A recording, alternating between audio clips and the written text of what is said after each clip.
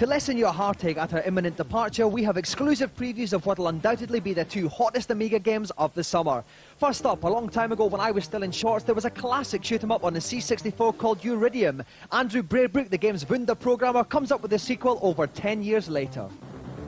This one involves the, the return of these giant dreadnought type spaceships, and they have to be attacked by a lone manta craft.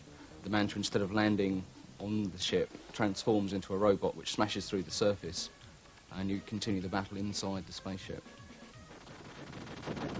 Project X, I've been playing that a lot. I really do enjoy playing that game, but it only scrolls very slowly. This time, it's the whole screen that's moving very, very quickly and I think that that's very important. We really are going for high speed this time.